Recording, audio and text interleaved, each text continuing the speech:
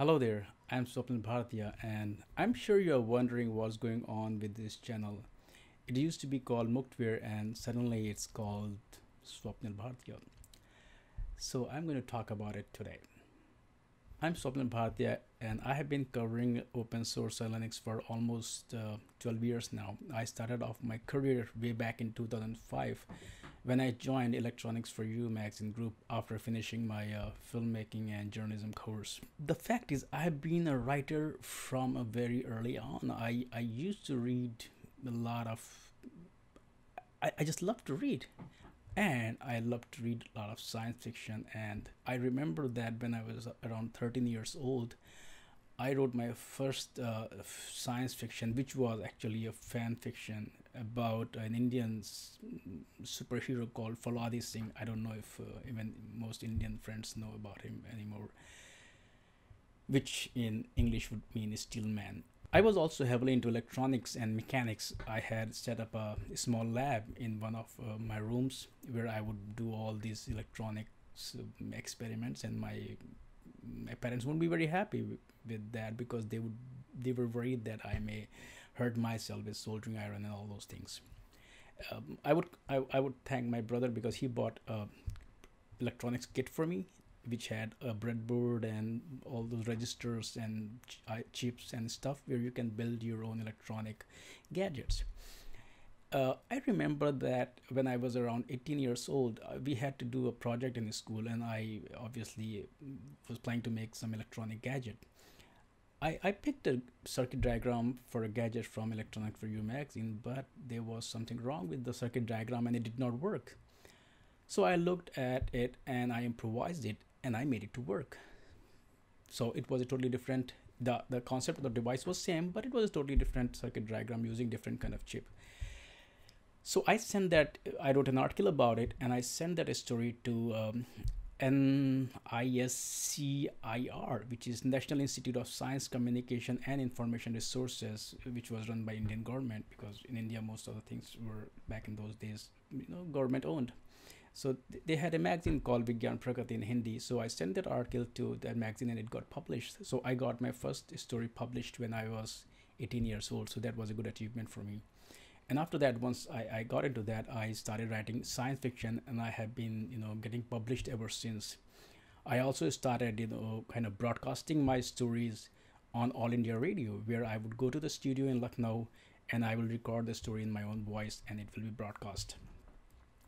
At the same time, I was also toying with electronic devices. I would make small gadgets and sell it to other, you know, kids or students. So from from the very early on, I created this. You know, I, I never asked pocket money from my parents. I was making money on my own with all these writing and uh, these electronic gadgets and stuff like that. When I finished my post graduation, my parents wanted me to go and do some courses or you know find a job with uh, the the belt I come from is very much into government jobs, and that to like district magistrate. I don't know what is the equivalent here in the U.S., but but something similar to that. You know, administrative kind of jobs, high ranking, you know, government jobs. I was not interested in at all.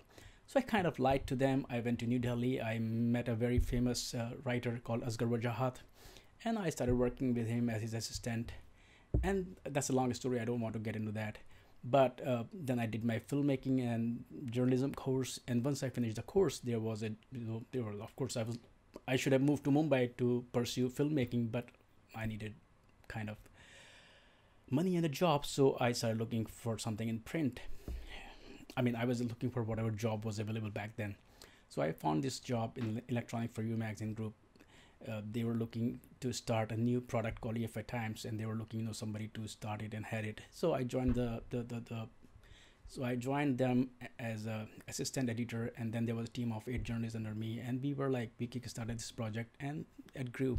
The same year, they organized the Linux Asia, which was one of the biggest open source and Linux event of Asia back then, and that changed my whole life because I got to meet and interview almost everyone from the Linux and open source world. I still remember walking with Mark Shuttleworth, uh, talking about Ubuntu and his vision and everything. I met Brian Behlendorf and interviewed him, Klaus Knopper, who later became a very close friend. I met Jim Zemlin uh, before uh, even Linux Foundation was formed. I think I met everybody except for two people, and th- those were the two poles, opposite poles of the Linux and open source world RMS, Richard M. Stallman, and Linus Torvalds. But next year, when uh, Microsoft accused Linux of uh, patent infringement, when Novell and Microsoft uh, signed a deal, I approached Linus Torvalds, and uh, I was the first journalist in that magazine group to get Linus Torvalds interview for them.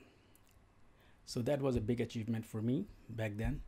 And then two years later, I uh, met Richard M. Stallman. He was he was in India, and I ended up spending three days with him, where I it walked around. I was kind of his as local escort, where I'll you know pick him up in the morning, and I'll just you know walk around with him to all the events or people he will go to meet, government officials and everything. And that's how I understood more most about him that most people don't understand and we had a long discussion and you know i wrote a story about it so i got those two covered as well but these meetings these these meeting all these people writing these stories uh, changed my whole approach towards um, towards technology and science and knowledge and information because as i said i came from science background where uh, not only i was a bachelor's in um, science I was also a science fiction writer, and to us, uh, science people, patents and copyrights and all these things are very important. They're like kind of sacred. But suddenly, you're talking to these people who are giving everything away, um, in some cases for free, or they're creating a business model around it.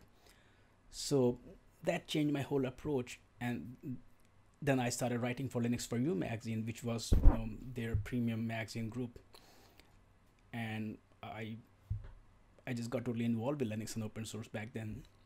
I was still a Windows user, but one of my friends who was also a correspondent with Linux for You magazine, he converted me to Linux. Uh, we would go out and talk about it. I'll bash Linux because we were using Fedora core in our office, and I hated it because unlike Windows, you can't do a lot of things there. It was also LTSP servers, so it was you know remote servers, not you know you're running a lot of things locally but uh, gradually the more i learned about linux I, I, came to love it and i started liking it. So I, I became a linux user and i also became a linux advocate where i would go to people's house and uh, remove windows and install linux on their system. And i converted a lot of people uh, to linux back then. Then in around 2009 i got married and then i moved to germany. And of course you can understand we lived in a small town of germany and uh, English was not the language there which you can get by with, and it was even harder to um, to find an English speaking writing job.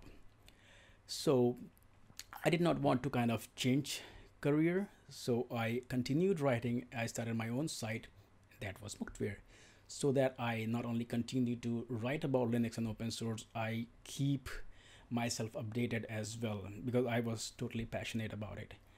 I did it for a couple of years, and then in 2013 we moved to US, and then you know that's when you know I was back in a country you know where you can speak English. So I started writing for Linux Foundation. I started writing for uh, uh, um, IDG Group, where I like wrote for I uh, for ITworld. Then I wrote for CIO, and then I write for wrote for uh, InfoWorld. I started writing for uh, the New Stack, and then I also write a blog for Cloud Foundry. I write for Linux Pro Magazine. I write for admin magazine i write for raspberry pi geek magazine. I also write a blog for own nextcloud. And i'm also so i'm quite spread out. Um, i write for a couple of publications now. What happened because of all this work paid work i did not get much time to write about to write on Muktware. I, I did not i was because of all this paid work i didn't have much time for Muktware. So it was not getting updated. So I kind of uh, tried to change the focus of the site, but still um, I was not getting enough time to continue the site. So I eventually decided to shut it down. But at the same time, I also realized that while I was writing for all these publications, um, they had different focus. I was passionate about Linux and open source and technology in general, so I was not getting, you know, the kind of open platform where I can you know just express the, the kind of things that I'm interested in. So a few few weeks ago I started two new websites, and these are going to be permanent. Don't worry about it. But there will be a business model behind it, and that won't be advertisements. One is uh, consume it, and second one is enterprise it. So while enterprise it will focus more on enterprise centric story, consume it will focus on consumer technology. Uh, because I, as I said from the beginning, I'm I'm at kind of I'm somebody who is heavily into science and technology. I'm more excited about where we are heading and not where we are or where we were. I'm I, if you look behind, I have all the VR get. I mean, I have Sony VR, I have Samsung Gear VR, I have Daydream VR, I have. I mean, you name it, and I I have it. It's it's not that I like to have gadgets. It's because I like new technologies. I want to see where humans humanity is heading in future. Only device that I don't have is um, HTC Vive and Oculus Rift. The reason being that it's uh, it runs on Windows, and uh, while I have nothing against any platform, I use Linux as my primary desktop. Then I use Mac OS, and I also run Windows sometimes. But uh, with Windows 10, the privacy issues, I'm not very comfortable with that. At the same time, I, am a hardcore Unix user. I need my terminal. I need all access to all the core through the terminal, and I am way too dependent on that and Windows just doesn't fit in, into my workflow. So I'm much happier with Mac OS and Linux because they're both, you know, Unix and Unix like. However, my point is that uh, one, I am totally unbiased because I use all possible platforms there, whether it's Android, whether it's um, um, iOS, whether it's Windows, whether it's PlayStation, whether it's Xbox, whether it's Nintendo Switch, whether it's uh, Nvidia Shield, Apple TV. I, I not only access everything, I use everything so that I am well informed and educated about those platforms before I share my opinion about them. Anyway, the point is that I want a platform where I can talk about my own exposure to technology, where I can talk about where I see it is heading. The reason is uh, I meet with a lot of people from the tech world. I interview a lot of people I, I do a lot of research uh, for my stories. So I, I want to share those insights that I get with the world to see where we are heading or to see where we stand. And that's what I'll be doing on this channel from now onwards. So I'll be talking about mostly technology. I may touch upon other areas. Mm, there may be a bit about politics, something about entertainment once in a while, but uh, technology will be the common theme there. Unless it's really pressing issue, I will not be going beyond technology. Second thing is that open source will be a dominating factor of this platform. There are two reasons. One is that I love open source. I use like 90% of my tech usage is open source. Second is that open source dominates our world today. No matter where you look at, it's open source even my nintendo switch and playstation 4 they run on, on open source technology it's, it's not linux it's bsd but it's open source so most of the focus will be on technology and open source. Now what kind of stories i'll do? Sorry not stories. I'm i'm a writer so i still think about stories. What kind of talks there will be? Uh, it will be either about the new product that i bought or used or a new technology which was announced and I, I have some insights to share about it. It could be about a new trend. It could be about a new operating system like PopOS that I wrote about or once again did a video about.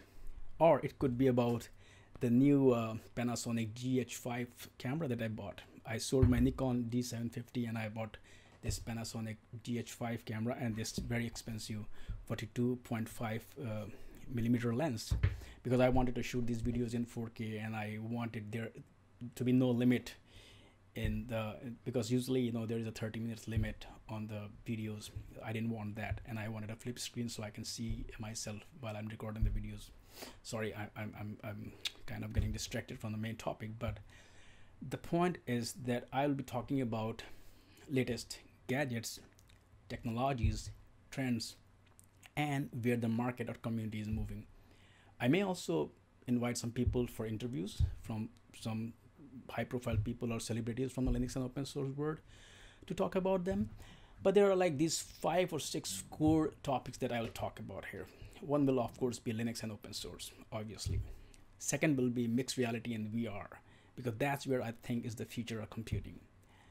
Third will be iot internet of things. There's a lot of misunderstanding there's a lot of fud against uh, iot devices that they are insecure and uh, all those things. I have written a very detailed story. I have shared a link below. You can check out but I actually talked to more than 15 companies who are active in Linux, uh, sorry, who are active in the IoT world to actually understand what's going on there. So uh, that's one more topic I'll talk about. I will talk about cloud, as usual, containers, and I will also talk about uh, consumer products in general. But these are not the product, you know, like the new iPad or something. I will talk about it only when I think it has the potential to change our lives or the market. So that's the kind of things I'll be talking about. Now, where I need your help is to help me improve. That's how open source work. You know, I need your feedback. My my mistakes on this channel um, are not proprietary. You're you're you know you're open to submit patches. You're you're open to I'm open to suggestion. You're just free to to give whatever feedback you want, how I can improve further, and also what kind of topics I should talk about. And as we move forward, we will pick and choose okay these are the certain areas that i should focus on and these are the certain areas i should not talk about. So we'll see how it goes. But this is something i wanted to talk about because uh, from now onwards you'll be seeing me on this channel regularly. Anyway thanks for watching and see you tomorrow. Bye bye